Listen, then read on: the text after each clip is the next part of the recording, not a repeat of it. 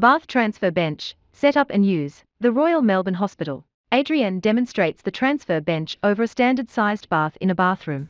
Hi, I'm Adrienne, occupational therapist at the Royal Melbourne Hospital. In this video, I will be demonstrating how to correctly set up and safely use a transfer bench at home. Each person's home environment is different, so if you have any difficulties or require assistance to ensure your setup is safe, please discuss this with your occupational therapist. Bath transfer benches are used to improve your safety and independence when transitioning in and out of the bath. It enables you to sit to shower when you have a shower over bath. Two legs will be positioned inside the bath while the other two legs will be outside the bath. The legs on the inside of the bath will be shorter than the outside and have suctions on the bottom to help with stability.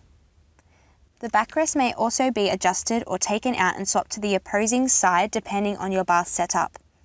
This is with the use of a silver locking button underneath the transfer bench seat. To adjust the height, there is a silver locking button and sequence of holes on each leg of the transfer bench. Press in the silver locking button and align it with the hole at the height that you wish. Adrienne crouches down to adjust the outside of the bath leg height. The handrail should be closest to the wall. The transfer bench should be positioned on the flat section of the bath, not the areas where the bath begins to curve. The taps and handheld shower should be easily accessible.